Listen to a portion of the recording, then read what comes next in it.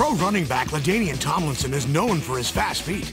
But can he take on Robbie Gardner in new ESPN Fast Action Football? Let's go. The faster you run, the faster the action.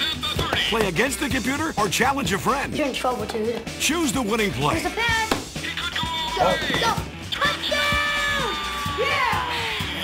So, LaDainian, what happened? I don't know, man. The kid's just fast. Get into the action with new ESPN Fast Action Football.